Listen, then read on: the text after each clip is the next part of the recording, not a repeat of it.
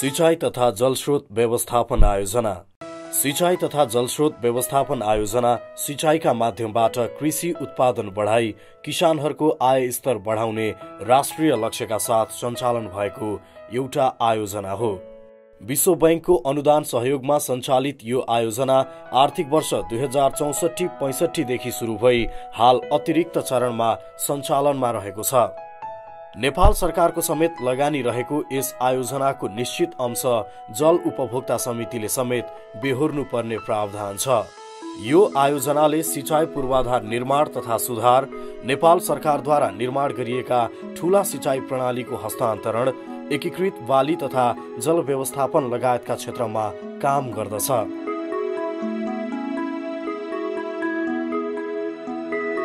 देशका पश्चिमी क्षेत्रका चालिस जिल्लामा आयोजनाले काम गरिरहेको छ। यो आयोजनाले पहिलो चरणमा सञ्चालन गरेका एक सय चौतिसवटा योजना मध्ये हालसम्म एक सय उन्नाइस उपआयोजनाको पुनर्निर्माण र सुधार कार्य सम्पन्न भएको छ भने पन्ध्रवटामा पुनर्निर्माणको काम भइरहेको छ। पुनर्निर्माण सम्पन्न योजनाबाट करिब बिस हजार हेक्टरमा सिंचाई सुविधा पुगेको छ। जसबाट पन्ध्र हजार चार सय बिस हेक्टर भूमिमा सिंचाई सुविधा पुगेको छ। अतिरिक्त लगानीमा त्रियासीवटा योजना लिइएकोमा पन्ध्रवटाको निर्माण कार्य सम्पन्न भएको छ। अडसठीवटा योजना निर्माणाधीन अवस्थामा छन् जसबाट थप पन्ध्र हजार हेक्टरमा सिंचाई सुविधा पुग्नेछ। आर्थिक वर्ष दुई हजार चौरात्तर पचहत्तरसम्ममा सम्पन्न गरिसक्नुपर्ने आयोजनाको अवधि नजिकिँदै जाँदा अनुगमन तथा मूल्याङ्कनलाई प्रभावकारी बनाइएको छ।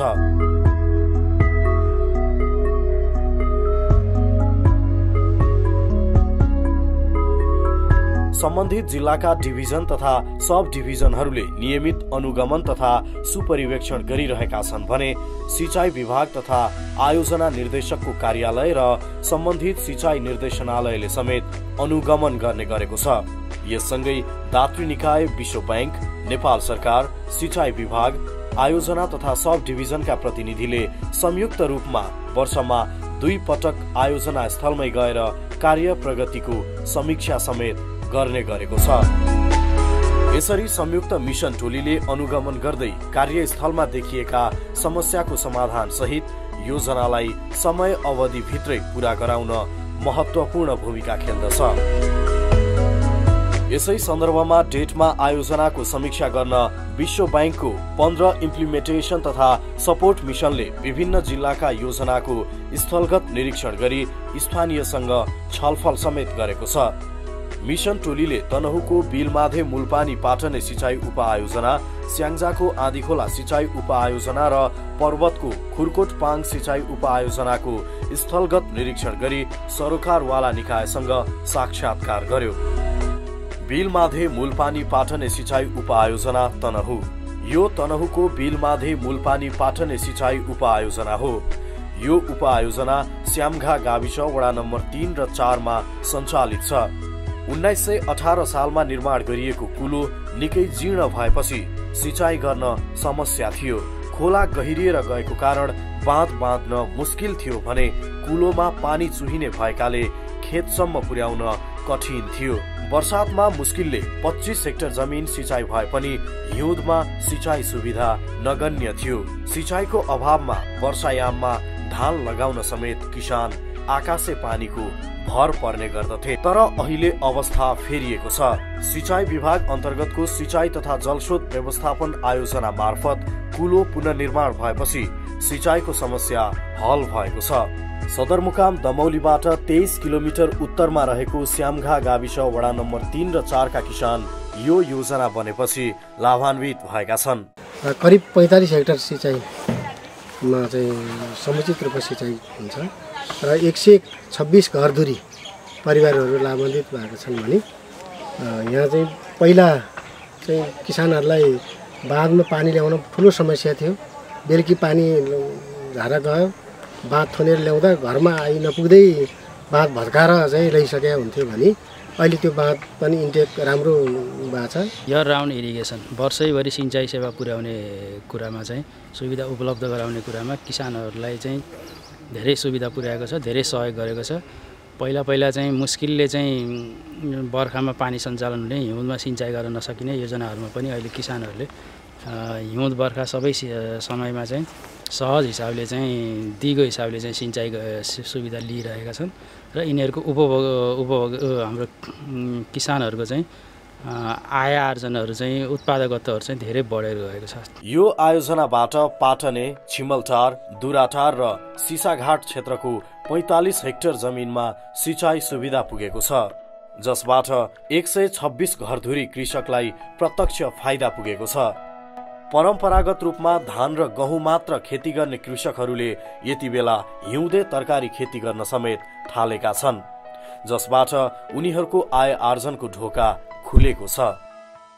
पहिला कुलोहरू कच्ची थियो भुवन परे आएको पानी सबै भुवन परेर जान्थ्यो। हामीले पानी नै ल्याउन सकिन्थेन। हामीलाई धेरै पानी अहिले यहीँ हरबर भयो। हामीले एकदम राम्रो भयो उनीहरूले व्यावसायिक रूपमा उत्पादन गरेको तरकारी बिक्रीका लागि बजारको खोजी समेत हुन थालेको छ। उत्पादन त भयो। उत्पादन त कृषकले गर्छ। तर यहाँ बजारीकरण नभएको हुनाले बजार व्यवस्था नभएको हुनाले त्यो कृषकबाट उत्पादित चिजहरू जुन छन् नि ती सम्बन्धित निकायले खरिद गरी कृषकहरूलाई सुविधा दिने व्यवस्था मिलाइदिए। अझै राम्रो हुन्थ्यो कि भन्ने हामी आशामा छौँ सर। सिँचाइको अभावमा अन्न न्यून उत्पादन हुने यो क्षेत्रमा अहिले उत्पादन दोब्बर भएको छ। किसानले चाहेको बेला सिँचाइ गर्न पाएका छन्। कुलोबाट जति पानी लगेर आयो अनि त्यसपछि यहाँ आउँदाखेरि मुहानमा आउँदाखेरि पानी सुक्दै जाने अनि त्यहाँबाट त्यसमा चाहिँ उत्पादनहरू वृद्धि नहुने। त्यसको तुलनामा कम्तीमा अहिले एक रोपनीमा छ मुरीसम्म धान फल्न चाहिँ सफल भएको छ। त्यसको तुलनामा त धेरै फरक परेको छ अँ, यहाँ पानी आइपुग्यो भने चाहिँ बस्यो। फेरि उतातिर गङ्गटाले चाहिँ सब खोलेर चाहिँ फेरि पानी चाहिँ यहाँ सानो मात्रामा आइपुग्ने। कसैलाई पनि चाहिँ त्यो मन सन्तुष्ट चाहिँ नहुने। त्यस्तो किसिमको चाहिँ उत्यो थियो पहिला। अहिले त अब जे होस् मैयाहरू चाहिँ अलिकति चाहिँ पहिलाको भन्दा अहिले सन्तुष्टै छ। जुन उब्जा हो धान खेती त्यो चाहिँ कुलो बनेपछि धेरै भयो। हामीले त पहिले त परालमा चाहिँ काट्थ्यौँ धान नफलेर पानी नभएर। पानी गहटाले खोल्थ्यो उतिखेर चुहिएर जाँडी आएको त्यहीँ नै जान्थ्यो। कुलो स्तरोन्नति सम्पन्न भएपछि विश्व बैंकका प्रतिनिधि आइडब्ल्युआरएमपी का प्रतिनिधि पश्चिमाञ्चल क्षेत्रीय सिंचाई निर्देशनालयको टोलीले तनहु स्थित यस आयोजनाको स्थलगत अवलोकन भ्रमण गर्यो। स्थलगत भ्रमणका क्रममा सरोकारवाला प्रतिनिधिहरूले किसानहरूसँग छलफल समेत गरे। आलुको खेती पनि गरेर हामीले चाहिँ इन्कम राम्रो पायौँ भने तरकारी खेती पनि गऱ्यौँ भने भनौँ त्यो पानीले दिगो रूपमा पानी पाउँदाखेरि तपाईँको उब्जनी वृद्धि भएको देखेपछि के अरे त्यसैले गर्दा तपाईँको उब्जनी बढेको छ त्यसलाई मर्मत समाज चाहिँ गर्नुपर्छ। यो चाहिँ हिजोको अस्थायीबाट यो अहिले आजको चाहिँ विकसित स्थितिमा पुगेको छ। त्यस कारणले यसलाई समस्या गर्नको निम्ति पुँजी सङ्कलन र अनि सबै मैयाहरूको चाहिँ सक्रियता चाहिँ आवश्यक पर्छ। स्थानीय कृषकको सिंचाइ सुविधाका लागि बिल माधे खोलामा पक्की बाँध बनाइएको छ भने तेह्र सय त्रिपन्न मिटर कुलो पक्की बनाइएको छ। यस्तै विभिन्न तीनवटा शाखा कुलो मार्फत पानी वितरणको व्यवस्था मिलाइएको छ। तनहुमा यति बेला भानु बराह सिंचाइ आयोजनाको काम समेत भइरहेको छ।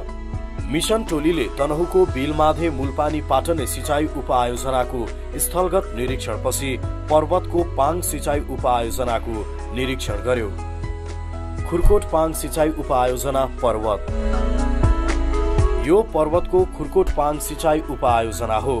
यो सिंचाइ तथा जलस्रोत व्यवस्थापन आयोजना अन्तर्गत सञ्चालनमा छ। यो उपआयोजना पर्वतको पाङ गाविसको वडा नम्बर एक दुई र खुरकोट गाविसको वडा नम्बर एक र दुईमा सञ्चालनमा छ। दुई हजार बयालिस सालमा सुरु भएको जीर्ण कुलोको पुनर्निर्माण गरी आयोजनाले सिंचाइ सुविधा पुर्याएको हो। खास गरेर दुई वर्ष अगाडिबाट चाहिँ यहाँको चाहिँ मान्छेको जीवनस्तर एकदम राम्रो किसिमले चाहिँ अगाडि बढेको छ। यहाँको जनजीवन आत्मनिर्भर हुँदै गएर यहाँबाट खाडी मुलुक र चाहिँ विदेशतिर चाहिँ रेमिटेन्सको लागि चाहिँ जाने मान्छेहरू पनि घट्दै गएको छ गए- गएको छ र यस ठाउँमा बाहिरबाट मान्छेहरू बसोबास सर्ने पनि कारण भएको छ। यो यो ठाउँमा कृषि उप- उपज वृद्धि भएको कारणले सिँचाइको कारणले कृषि उब्जनी भएको वृद्धिको कारणले जग्गाको मूल्य पनि वृद्धि भएको छ र यहाँ को मान्छेको जीवन समग्रमा यहाँको मान्छेको जीवनस्तर धेरै अगाडि बढेको छ। उपआयोजनाले खहरे खोलाबाट तीन किलोमिटर मुख्य कुलो र एक किलोमिटरका तीनवटा सहायक कुलो निर्माण गरेको छ। उपआयोजनाबाट पन्चानब्बे हेक्टरमा सिँचाइ सुविधा पुगेको छ। सिँचाइ सुविधापछि तीन हजार एक सय पच्चिस कृषक प्रत्यक्ष लाभान्वित भएका छन्। उपआयोजना सुरु हुनु अघि अत्यन्तै कम अन्न उत्पादन हुने गरेको थियो। यसअघि भान्साका लागि तरकारी फलाउन समेत मुस्किल थियो। सिँचाइ सुविधा सहज भएपछि किसानहरूले टनेल निर्माण गरी काउली बन्दा गुलभेडा आलु लगायतका तरकारी बाली लगाएका छन्। पर्वत खुरकोटका स्थानीय कृषक धर्मराज सुवेदी विदेश जाने योजनामा थिए। खेतबारी प्रशस्त थियो तर सिँचाइका लागि पानी नहुँदा भने जति उत्पादन हुँदैनथ्यो तर सिँचाइ आयोजनाले पुरानो कुलो पुनर्निर्माण गरेपछि अब खेतबारीमा पानी लगाउन समस्या रहेन। सिँचाइ सुविधापछि सुवेदीले विदेश जाने योजना त्यागेर खेतबारीमा काउली आलु लसुन गोलभेडा लगायत विभिन्न जातका तरकारी लगाएका छन्।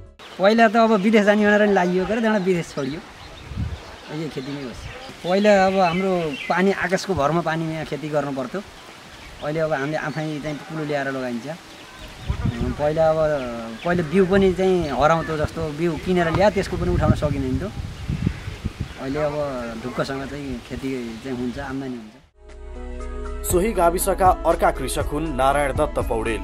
ज्येष्ठ नागरिक पौडेलले जग्गा जमिन भए पनि सिँचाइ सुविधाको अभावमा अन्नपात जुटाउनकै लागि जीवनमा धेरै दुःख गर्नु पर्यो तर सिँचाइ उपआयोजना सञ्चालनपछि गाउँको मुहार नै फेरिएको छ। अहिले यो कुलो निहुरेको कुलो आएपछि यहाँ यही खेती किसानबाट धेरैको रोजगारी चलिन्छ। खाने खानालाई रोजगारी चलिन्छ। यो पानी आएपछि अघि थिएन दुःख थियो। कुद्ले खेताबाट चामल बोकेर खानु पर्थ्यो अहिले परेको छैन यो खेती उत्पादन गर्नाले। सिँचाइ सुविधाका कारण तीन गुणा बढीसम्म अन्न उत्पादन भएको किसानहरू बताउँछन्। घरको कहिले चार पाँच पाथी नै आउँथ्यो एउटा गरामा जम्मा यो दुई मुरी भयो क्या सर? कृषि उत्पादन बढाउन र किसानको आय आर्जन बढाउन यति बेला पर्वतमा जमिन बाँझो नराखौ भन्ने अभियान समेत थालिएको छ। आयोजनाबाट युवा लक्षित तरकारी बाली कार्यक्रम भकारो सुधार कार्यक्रम लगायतका अन्य कार्यक्रम सञ्चालन भएका छन्। जमिन बाँझो नराख्ने अभियान भन्ने चाहिँ मूल नाराका साथ हामीहरू अगाडि बढिरहेका छौँ र जहाँ जति जमिनहरू छ त्यहाँ जहाँ सिँचाइको सुविधा पुगिरहेको छ त्यस्तो ठाउँमा पनि जमिन बाँझो नराखेर सिँचाइको सुविधा कम भएका ठाउँहरूमा पनि प्लास्टिक पोखरी थोपा सिँचाइको प्रयोगबाट जमिनलाई अधिकतम बढी सदुपयोग गर्ने हामीले लक्ष्य लिएका छौँ। र कतिपय ठाउँहरूमा पानी कम लगाउने बालीहरू जस्तै तपाईँको यो फापर लगायत मुसुरो लगायतका बालीहरू जसलाई पानी अलिक कम जान्छ त्यस्तो किसिमको बालीहरू लगाउनुपर्छ भनेर हामीले किसानहरूमा जनचेतना पनि फैलाइरहेका छौँ भने आइडल आर्मी कार्यक्रम अन्तर्गतबाट हामीले युवा लक्षित तरकारी कार्यक्रम पनि सुरुवात गरेका छौँ। त्यस्तै भकार सुधार कार्यक्रमहरू हामीले सुरुवात गरेका छौँ। यस लगायत क्षमता अभिवृद्धि तालिम त्यसपछि सृजना तर योजना तर्जुमा गोष्ठी लगायतका विविध क्रियाकलापहरू गरेको हुनाले यो पाङखुरकोट जुन कम सिँचाइ कमान्ड एरियामा चाहिँ अहिले चाहिँ पर्वत जिल्लामा यो व्यावसायिक खेतीतर्फ अगाडि रूपमा चाहिँ यो क्षेत्र चाहिँ अहिले बढिरहेको अवस्था चाहिँ छ। कृषकहरूले व्यावसायिक रूपमा तरकारी उत्पादन गर्न थालेसँगै खुरकोट पाङ सिँचाइ जल उपभोक्ता समितिले कृषि उपज सङ्कलन केन्द्र समेत सञ्चालनमा ल्याएको छ। बाली लगाउने बेलामा हुने बिउको अभाव टार्नका लागि स्थानीयको सक्रियतामा बिउ प्रशोधन केन्द्रको स्थापना गरिएको हो। देश जाने प्रचलन बढिरहेको अवस्थामा सिँचाइ सुविधाले कृषिलाई व्यावसायिकता दिँदा कृषकहरूले गाउँमै आर्थिक लाभ पाउन थालेका छन्। धानबाट साटेर आलु र धजारको तरकारी खाएर अनि त्यसै भातसँग खाएर हामी चाहिँ बलेवा पैबाट कोही कोही चाहिँ कुसमा पढ्न जान्थ्यौँ। त्यस्तो अवस्थाबाट अहिले कमसेकम हाम्रा खेतबारीमा इच्छाइएको तरकारी टिपेका छौँ। अनि चाहिँ इच्छाको ताजा तरकारी हामी खान सफल छौँ। र चाहिँ कमसेकम थोरै भए पनि सबै प्रत्येक परिवारले न्यूनतम पनि न्यूनतम कति पनि नभएको चाहिँ परिवार जो चाहिँ एकदम बिजी छ तिनीहरूले पनि चा बिस तिस हजारदेखि लिएर दुई तिन लाख रुपियाँसम्म आर्जन गर्न सक्नुपर्छ। खाडी मुलुकमा जानुपर्ने परिस्थिति छैन हामीलाई। अझै पनि चाहिँ नहोस् हाम्रा यहाँका युवाहरू यहीँ चाहिँ रोजगार प्राप्त गर्न यहाँले मार्गदर्शन गर्नुहुनेछ। आयोजनाले सिँचाइका लागि कुलो सुधार गरेपछि स्थानीयले दीर्घकालीन रूपमा कुलो मर्मत सम्भारका लागि कृषकहरूबाट आवश्यक रकम सङ्कलन गर्ने भएका छन्। अब आगामी वर्षबाट चाहिँ हामीले केही कोष उठाउने लगाएर त्यसको लागि कुनै प्रक्रिया अगाडि बढाएका छौँ। हालसालसम्म अहिलेसम्मलाई हामीले खासै कोष चाहिँ स्थापना गरेका छैनौँ। जब चाहिँ हाम्रो चाहिँ उताबाट आउने बजेट स्टक हुन्छ। त्यहाँबाट चाहिँ हामीले चाहिँ अब त्यसको लागि सोच गराएर अब अब रसिदहरू पनि छपाएका छौँ। खुरकोट पाङ सिँचाइ उपआयोजनाबाट कुलो स्तरोन्नति सम्पन्न भएपछि विश्व ब्याङ्कका प्रतिनिधि सिँचाइ तथा जलस्रोत व्यवस्थापन आयोजना आइडब्लुआरएमपीका प्रतिनिधि तथा पश्चिमाञ्चल क्षेत्रीय निर्देशनालयका प्रतिनिधि लगायतले यो आयोजनाको समेत स्थलगत अनुगमन गरे।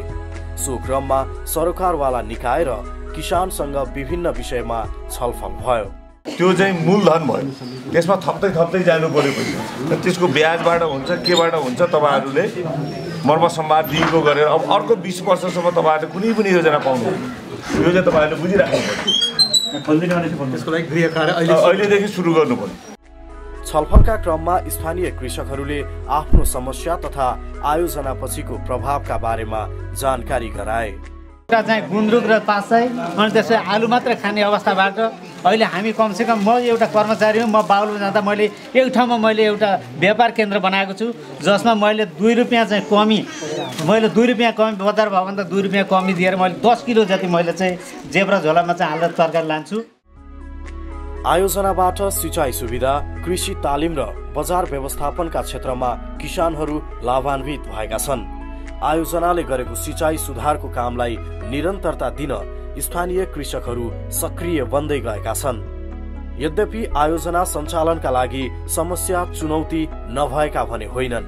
इन्टेन्सिभ ट्रेनिङ वाटर म्यानेजमेन्टका कुराहरू उपभोक्ता समितिलाई सशक्ति गर्ने उनीहरूले आयहरू सञ्चालन गर्ने आय आर्जन गर्ने बचत गर्ने र सधैँ सरकारको मुख नताकिकन आत्मनिर्भर हुने बाटोतर्फ उनीहरूलाई उन्मुख गराउन सकियो भने सिँचाइ योजनाहरू धेरै इफिसियन्ट रूपमा सञ्चालन हुन सक्ने अवस्था छ।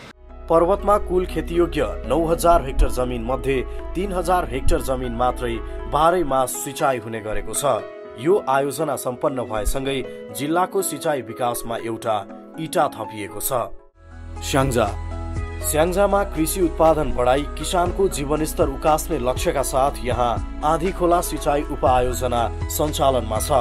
यो योजनाबाट तिन सय तिस हेक्टर जमिनमा सिँचाइ सुविधा पुगेको छ।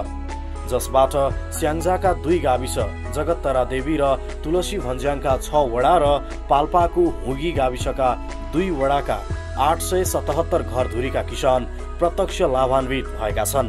यहाँ दुई हजार बाहन्न सालमा युनाइटेड मिसन टु नेपालले निर्माण गरेको सिँचाइ कुलो जीर्ण भन्दा सिँचाइमा समस्या थियो। पुरानो भएर झरझर भएको हुनाले अहिले यो आइडोल आरएमपीमा त्यहाँको उपभोक्ताहरूले रिक्वेस्ट गरेको हुनाले आइडोल आरएमपीबाट सहयोग भई अहिले आरसिसी लाइन क्यानल र अरू संरचनाहरूको हामीले पुनः सुदृढीकरण गरेका छौँ। त्यसबाट किसानहरूमा एकदमै जागरुकता छ। यसबाट पहिला एउटा अलिकति कोदो र अलिकति मकै हुने ठाउँमा अहिले धान र तिन तिन बाली जति खेतीहरू लगाएर सबै एकदमै आर्थिक स्थिति एकदमै राम्रो भएको छ। यो चाहिँ पहिला चाहिँ हामीले यसरी लिएर गयौँ। अहिले यो चाहिँ गाउँको माझबाट गएको भएर अहिले बेला बेलामा यो पाइप पुग्ने समस्या छ। आयोजनाले पुनर्निर्माण गरेको यो सिँचाइ योजनामा नौ सय छब्बिस मिटरको पक्की कुलो निर्माण गरिएको छ भने रिटेनिङ वाल सुपर प्यासेस लगायतका संरचना निर्माण गरिएको छ। पानीको अभावमा हिउँदको समयमा बाँझै बस्ने यहाँका यी खेतहरू कुलो निर्माणपछि किसानले लगाएको बालीले हराभरा भएको छ। पहिला सुक्खा हुन्थ्यो केही हुँदैन थियो अब कोदोबाट हुन्थ्यो धेरै नाफा केही थिएन। अहिले राम्रो भएछ खेतीपाती गर्दाखेरि धान बाली गहुँ मकै तिनटै बाली राम्रोसित भएछ अहिले हामीले बिउ आलुको उत्पादन गरेका छौँ। धेरै खुसी छ जनता किसान। अझै पनि यसमा कुलो र राम्रो भइदियो भने आयोजनाले उत्पादन क्षमता बढाउन स्थानीय कृषकहरूलाई विभिन्न तालिम पनि दिएको छ। कृषि तालिम र सिँचाइ सुविधा प्राप्त गरेपछि असारमा पनि रोपाईका लागि आकाशे पानीको भर पर्नुपर्ने किसानहरू हर्षित भएका छन्। कृषकहरूले अहिले वर्षमा तीन बाली लगाउन थालेको बताए। सिँचाइ सुविधापछि कृषि उत्पादनमा वृद्धि भएको त छ नै किसानले बेमौसमी तरकारी बेच्नका लागि बजारको समेत समस्या छैन। पानी आहा सिँचाइ कति सजिलो आहा पानी थिएन हामीलाई खोल्सा खोल्सा पिउने पानी खोल्सा खोल्सा लिएर जानु पर्थ्यो भैँसीलाई त्यही खोला ल्याउनु पर्थ्यो। अहिले सर दैलो दैला पानी आहा तरकारी फल्छ धान पनि टन्न फल्छ। अहिले बजारहरू लगेर खानै पर्दैन। सुविधा भएको खाने सजिलो पहिला किनेर खान पाइन्थेन भने अहिले बेच्न पाइहाल्छ अँ, चैत वैशाखमा तरकारी हरियो खान पाइन्छ यो पानीको असी पहिला गरिब थियौँ भने अहिले चाहिँ सम्पन्न स्याङ्जामा आयोजनाको सहयोग र कृषि विभागको व्यवस्थापनमा आलु उत्पादन कार्यक्रम सञ्चालन भएको छ खाद्यान्न तथा बिउ आलु उत्पादक कृषक समूह कुशादेवी काभ्रेको स्रोतमा बिउ आलु उत्पादक कार्यक्रममा कृषकहरू सहभागी भएका हुन् अहिले यो कार्यक्रम अन्तर्गत किसानहरूले पचास हेक्टर भन्दा जमिनमा तरकारीका लागि आलु लगाएका छन्। पहिला पनि उत्पादन गरी धेरै थोरै उत्पादन गरिन्थ्यो। अहिले अब व्यावसायिक रूपले बिउ उत्पादन गर्ने हाम्रो लक्ष्य छ। आयोजनाले बाली सघनता बढाउने अगुवा किसान तयार पार्नका लागि विभिन्न तालिम सञ्चालन गर्ने जस्ता कार्यक्रम गरिरहेको छ। बिउले प्रतिस्थापन गर्ने कामहरू कार्यक्रमहरू पनि हामीले चलाइरहेछौँ। औजार उपकरणहरू पूर्वाधारहरूको सहयोगमा हामी कामहरू गरिरहेछौँ। र चाहिँ केही नमुना किसानहरू निर्माण गर्ने र नमुना किसानहरू मार्फत उनीहरूलाई व्यावसायिक बनाएर एउटा नमुनाको रूपमा चाहिँ कार्यक्रमहरू चलाउने भनेर त्यसरी पनि कामहरू गर्दैछौँ। र यो असाध्यै यो प्रोजेक्ट यो कमान्ड एरियाभित्र किसानहरूलाई इनपुटहरू सप्लाईको कुराहरूदेखि लिएर तालिमहरू गोष्ठीहरू एक्सपोजर भिजिटहरू भ्रमणहरूमा चाहिँ निकै अघिदेखि नै यो प्रोजेक्ट यो आयोजना सञ्चालन भएदेखि नै यो यो चाहिँ सुवि सेवा सुविधाहरू किसानहरूले प्राप्त गरिरहेको अवस्था छ। आयोजनाले कुलो पुनर्निर्माण सम्पन्न गरेपछि विश्व ब्याङ्कका प्रतिनिधि आइडब्लुआरएमपी का प्रतिनिधि पश्चिमाञ्चल क्षेत्रीय निर्देशनालयका प्रतिनिधि लगायतले स्थलगत अवलोकन भ्रमण गरे। भ्रमणका क्रममा सरोकारवाला प्रतिनिधिहरूले किसानहरूसँग छलफल गरे।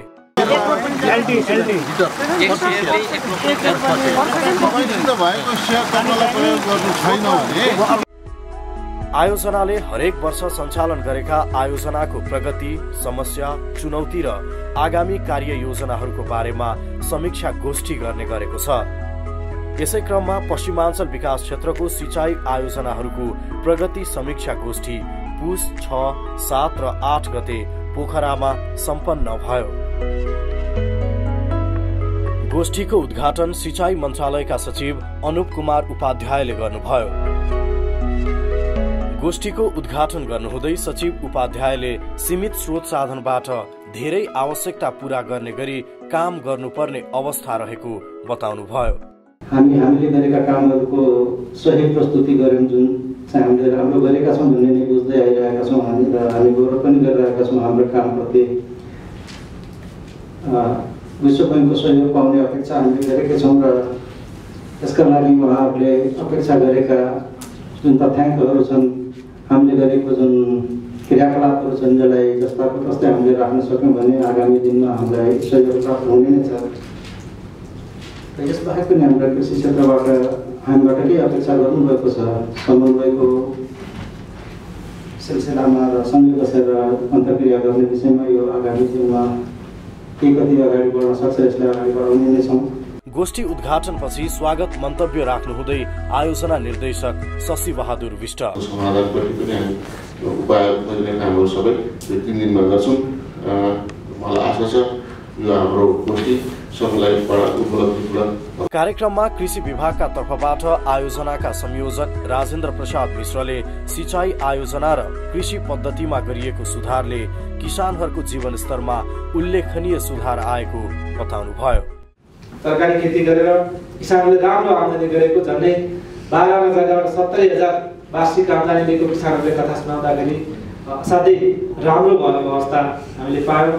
र त्यहाँको कुलोको क्वालिटी त्यहाँको डिस्ट्रिब्युसन प्रणाली राम्रो रहेको र त्यस्तै गल्याङमा हिजो जाँदा अनि खोलाको उसमा असाध्यै राम्रो किसानहरूको उत्साह पानीको उपयोगमा जुर्मुराएको अवस्था छ जहाँ उहाँहरूले अझै राम्रो नगदे बालीहरूमा जान पाऊँ र केही पूर्वाधारहरूमा हामीलाई सहयोग होस् भन्ने अपेक्षाहरू पनि राखेका छन्। जसको जुन प्रतिफल भनेको हामी कृषि र सिँचाइले सँगै काम गर्दा प्राप्त भएको अवस्था हो। यसैबीच आयोजनाका वरिष्ठ समाजशास्त्री चेतनाथ बुढथापाले तनहु स्याङ्जा र पर्वतमा सञ्चालित आयोजनाको स्थलगत निरीक्षणबाट आगामी दिनमा थप आयोजना लागू गर्दा ध्यान दिनुपर्ने पक्षमा स्पष्ट हुन सकेको बताउनुभयो। पर्वत र चाहिँ स्यालजाका तिन तिनवटा योजनाहरूको निरीक्षण या अनुगमन निरीक्षण गऱ्यौँ। त्यहाँको वस्तुस्थितिको बारेमा पनि जानकारीको अ, जानकारी दिने काम गरियो।